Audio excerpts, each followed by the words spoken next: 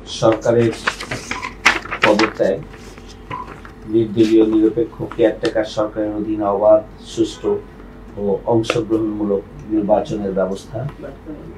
আমির Jamaat, doctor Shafiqur Rahman সহ বিরোধী রাজনৈতিক দলের গ্রেপ্তারকৃত নেতাকর্মী এবং আলেম ওলামার মুক্তি, মিথ্যা মামলা প্রত্যাহার, দ্রব্যমূল্য মানুষের ক্রয় ক্ষমতার মধ্যে নিয়ে আসার দাবিতে আগামী আঠাশে অক্টোবর দুই শনিবার, রাজধানী ঢাকার মতিঝিলের শাপলা চত্বরে। জামাত ইসলামী ঘোষিত মহাসমাবেশের কর্মসূচি সার্বিকভাবে সফল করে তোলার লক্ষ্যে দেশবাসীর সহযোগিতা কামনা করে সংবাদ সম্মেলনে বাংলাদেশ জামাত ইসলামের ভারপ্রাপ্ত আমির সাবেক এমপি, অধ্যাপক মুজিবুর রহমান এখন দেশবাসীর উদ্দেশ্যে বক্তব্য রাখবেন। আমাদের আজকের এই সংবাদ সম্মেলনে উপস্থিত আছেন যথাক্রমে ভারপ্রাপ্ত আমির জামাত অধ্যাপক মুজিবুর রহমান নাইবে আমির, সাবেক এমপি ডাক্তার সৈয়দ আবদুল্লাহ মোহাম্মদ তাহের বাংলাদেশ জামাত ইসলামীর অন্যতম সহকারী সেক্রেটারি জেনারেল সাবেক এমপি হামিদুর রহমান আজাদ। আরও উপস্থিত আছেন কেন্দ্রীয় নির্বাহী পরিষদের অন্যতম সদস্য মোবারক হুসাইন ঢাকা মহানগরী জামাত ইসলামীর উত্তরের সম্মানিত ভারপ্রাপ্ত আমির আব্দুর রহমান মুসা আমাদের মাঝে উপস্থিত আছেন বাংলাদেশ ইসলামী ছাত্র শিবিরের সংগ্রামী কেন্দ্রীয় সভাপতি, আমাদের প্রাণপ্রিয় ছাত্রনেতা রাজীবুর রহমান পলাশ। সম্মানিত উপস্থিতি, এখন সম্মানিত আমিরে জামাতকে, ভারপ্রাপ্ত আমিরে জামাতকে দেশবাসীর উদ্দেশ্যে বক্তব্য উপস্থাপনের জন্য অনুরোধ করছি। ইন আলহামদুলিল্লাহ ওসলাত ওয়াসালাম আলা রসুলিল্লাহ ওয়ালা আলিহি আসহাবিহি আজমাইন। প্রিয় সাংবাদিক বন্ধুগণ, আসসালামু আলাইকুম ও রহমতুল্লাহি ওবরাকাতুহ বাংলাদেশের সংকটময় এক কঠিন রাজনৈতিক পরিস্থিতিতে আমরা আপনাদের সামনে উপস্থিত হয়েছি। আপনারা নিশ্চয়ই অবগত আছেন, দ্বাদশ জাতীয় সংসদ নির্বাচন আর মাত্র কিছুদিন পরেই অনুষ্ঠিত হওয়ার কথা রয়েছে। অথচ এখনও নির্বাচনের কোনো পরিবেশ তৈরি করা হয়নি। সুষ্ঠু নির্বাচনের জন্য লেভেল প্লেয়িং ফিল্ড তৈরি করা পূর্ব শর্ত। কিন্তু সরকার লেভেল প্লেয়িং ফিল্ড তৈরি করার কোনো চিন্তাই করছে না। দেশের অধিকাংশ রাজনৈতিক দল সুশীল সমাজ, সাংবাদিক, বুদ্ধিজীবী এবং বিভিন্ন শ্রেণি পেশার মানুষসহ গোটা জাতি মনে করে অবাধ ও সুষ্ঠু, নিরপেক্ষ, অংশগ্রহণমূলক নির্বাচনের লক্ষ্যে নির্দলীয়, নিরপেক্ষ কেয়ারটেকার সরকার প্রতিষ্ঠার কোনো বিকল্প নেই।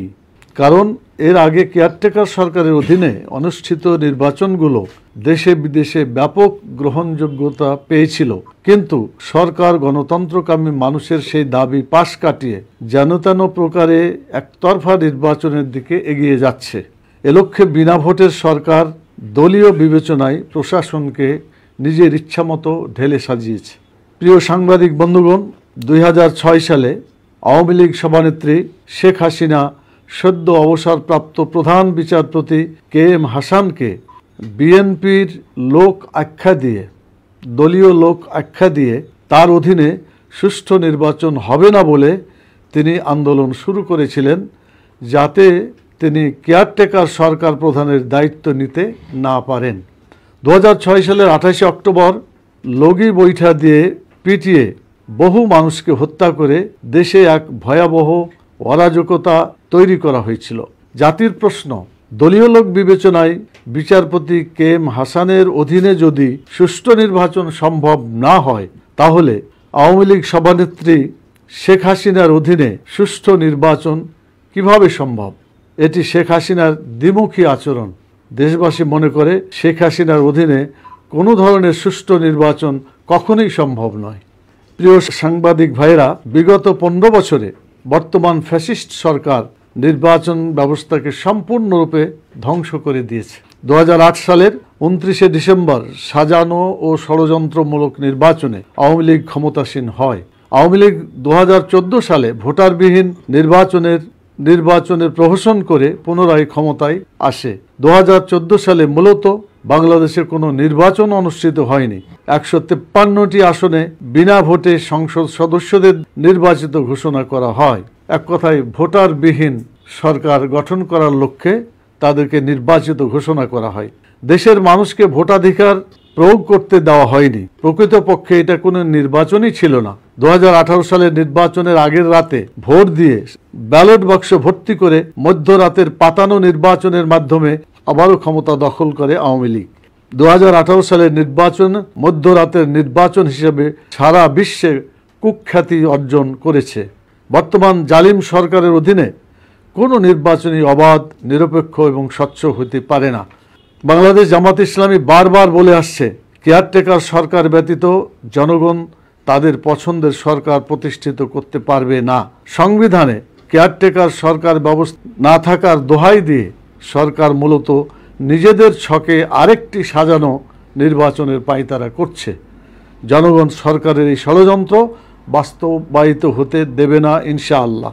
প্রিয় সাংবাদিক বন্ধুগণ, বাংলাদেশ জামাত ইসলামী একটি নিয়মতান্ত্রিক ও গণতান্ত্রিক রাজনৈতিক দল। বাংলাদেশের প্রতিটি গণতান্ত্রিক আন্দোলনে জামাত ইসলামীর ঐতিহাসিক ভূমিকা রয়েছে। অথচ জামাত ইসলামীকে সভা সমাবেশ মিছিল করতে দেওয়া হচ্ছে না। প্রশাসনের নিকট বারবার লিখিতভাবে আবেদন জানানো সত্ত্বেও প্রশাসন সভা সমাবেশ বাস্তবায়নে সহযোগিতা না করে উল্টা বাধা দিচ্ছে, নেতৃবৃন্দকে আটক করছে। দেশে যাতে সুষ্ঠু অংশগ্রহণমূলক নির্বাচন না হয়, সেজন্য আমিরে জামাত সহ শীর্ষস্থানীয় নেতৃবৃন্দকে এবং অন্যান্য রাজনৈতিক দলের নেতাকর্মীদের মিথ্যা মামলা দিয়ে কারাগারে আটক করে রেখেছে এবং আটক করে চলেছে। এটা জাতির জন্য একটি অশনি সংকেত। জামাত ইসলামী তার সাংবিধানিক অধিকার অনুযায়ী আগামী আঠাইশে অক্টোবর শনিবার রাজধানী ঢাকা মহানগরীর শাপলা চত্বরে শান্তিপূর্ণ মহাসমাবেশ বাস্তবায়নে সহায়তা চেয়ে পুলিশ কমিশনের নিকট লিখিতভাবে অবহিত করেছে। পক্ষপাত দুষ্ট এক পুলিশ কর্মকর্তা বলেছে, জামাতকে সমাবেশ করতে দেওয়া হবে না। পুলিশের দায়িত্ব হল শান্তিপূর্ণ সভা সমাবেশ, বাস্তবায়নে সহযোগিতা করা। বাধা দেওয়া তাদের কাজ নয়। তার এই বক্তব্য অসাংবিধানিক, অগণতান্ত্রিক, এখতিয়ার বহির্ভূত এবং বেআইনি। আমরা পক্ষপাতদুষ্ট পুলিশ কর্মকর্তার বক্তব্যের তীব্র নিন্দা ও প্রতিবাদ জানাচ্ছি। রাষ্ট্রের আইন শৃঙ্খলা বাহিনীর প্রধান দায়িত্ব হচ্ছে রাজনৈতিক দলসমূহের সভা সমাবেশ, মিছিল, শান্তিপূর্ণভাবে অনুষ্ঠানে সহযোগিতা করা। মিছিল, মিটিং, সভা সমাবেশ প্রত্যেক নাগরিকের সাংবিধানিক অধিকার। এ অধিকার যাতে তারা প্রয়োগ করতে পারে, সে ব্যাপারে সহযোগিতা করা পুলিশের দায়িত্ব। তাতে বাধা দেওয়া পুলিশের দায়িত্ব হতে পারে না। কিন্তু আমরা লক্ষ্য করছি বিগত সময় অসংখ্যবার দেশের বিভিন্ন অংশে, বিভিন্ন স্থানে সমাবেশ করার সহযোগিতা চেয়ে আবেদন করা হলেও প্রশাসনের পক্ষ থেকে কোনো সাড়া পাওয়া যায়নি। এটি সম্পূর্ণ অগণতান্ত্রিক এবং অসাংবিধানিক। পক্ষপাতদুষ্ট ভূমিকা থেকে বের হয়ে আসার জন্য আমরা আইন শৃঙ্খলা রক্ষাকারী বাহিনীর প্রতি আহ্বান জানাচ্ছি। প্রিয় সাংবাদিক, বন্ধুগণ আপনারা জানেন, বাংলাদেশ জামাত ইসলামের কেন্দ্রীয় নির্বাহী পরিষদ সদস্য, কেন্দ্রীয় প্রচার ও মিডিয়া বিভাগের সেক্রেটারি এবং ইসলামী ছাত্র শিবিরের সাবেক কেন্দ্রীয় সভাপতি, গুরুতর অসুস্থ অ্যাডভোকেট মতিউর রহমান আকন্দকে গত পঁচিশে অক্টোবর বেলা সাড়ে এগারোটায় তার উত্তরার বাসা থেকে আইন শৃঙ্খলা বাহিনী বেআইনিভাবে গ্রেপ্তার করেছে। আমরা অবিলম্বে তার মুক্তি দাবি করছি। শুধু মতিউর রহমান আকন্দি নয়, গত কয়েকদিন ধরে সারা দেশ থেকে শত শত নেতাকর্মীকে গ্রেপ্তার করা হয়েছে। বাড়িঘরে তল্লাশির নামে জামাত নেতাকর্মীদের হয়রানি করা হয়েছে। শুধু পুরুষদেরই নয়, মহিলাদের পর্যন্ত তারা হয়রানি করছে। হয়রানি থেকে নারী ও শিশুরাও মুক্ত নয়। আমি অবিলম্বে জুলুম নিপীড়ন বন্ধ করার আহ্বান জানাচ্ছি। সেই সাথে আমিরে জামাত ডক্টর শফিকুর রহমান সহ সকল নেতাকর্মীদের নিঃশর্ত মুক্তি দাবি করছি। প্রিয় সাংবাদিক, বন্ধুগণ, গত পনেরো বছর যাবৎ বর্তমান সরকার দেশে হত্যা, নৈরাজ্য, গোম, খুন, দুর্নীতি ও দুঃশাসনের মাধ্যমে দেশকে এক অকার্যকর রাষ্ট্রে পরিণত করেছে। বিশ্বে বাংলাদেশ একটি গুম, খুন, মানবাধিকার লঙ্ঘনকারী এবং ভোটাধিকার ও গণতন্ত্রবিহীন রাষ্ট্র হিসাবে পরিচিতি লাভ করেছে। আর মাত্র দুই মাস পরেই দ্বাদশ জাতীয় সংসদ নির্বাচন অনুষ্ঠিত হওয়ার কথা।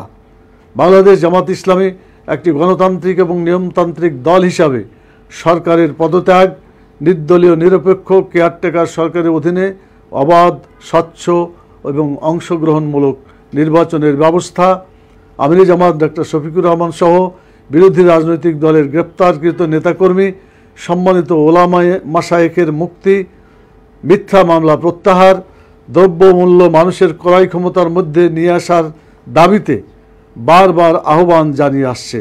কিন্তু সরকার তা অগ্রাহ্য করে অব্যাহতভাবে গণগ্রেপ্তার চালিয়ে যাচ্ছে। এই পরিস্থিতিতে গোটা জাতি আজ এক দফার দাবিতে ঐক্যবদ্ধ হয়েছে। এমতো অবস্থায় সংসদ ভেঙে দিয়ে সরকারের পদত্যাগ এবং কেয়ারটেকার সরকারের অধীনে জাতীয় সংসদ নির্বাচন অনুষ্ঠানের দাবিতে আমরা আগামী আঠাশে অক্টোবর রাজধানী ঢাকার মতিঝিলের শাপলা চত্বরে শান্তিপূর্ণ মহাসমাবেশের কর্মসূচি ঘোষণা করেছি। শান্তিপূর্ণ এই মহাসমাবেশের সুশৃঙ্খলভাবে সমবেত হয়ে এক দফা দাবি, কেয়ারটেকার সরকার ব্যবস্থা বাস্তবায়নের আন্দোলনকে বেগবান করার জন্য দেশবাসীর প্রতি উদাত্ত আহ্বান জানাচ্ছি এবং সরকারের কোনো ধরনের উস্কানি, অসাংবিধানিক ও গণতন্ত্র বিরোধী অপতৎপরতায় বিভ্রান্ত না হওয়ার জন্য আমরা দেশবাসী এবং সংগঠনের সর্বস্তরের জনশক্তির প্রতি আহ্বান জানাচ্ছি। ধৈর্য সহকারে আমার বক্তব্য শোনার জন্য বাংলাদেশ জামাত ইসলামের পক্ষ থেকে আপনাদের প্রতি আন্তরিক কৃতজ্ঞতা প্রকাশ করছি এবং আপনাদের মাধ্যমে দেশবাসীকে ধন্যবাদ জানাচ্ছি। আল্লাহ হাফেজ, বাংলাদেশ জিন্দাবাদ, বাংলাদেশ জামাত ইসলামী জিন্দাবাদ।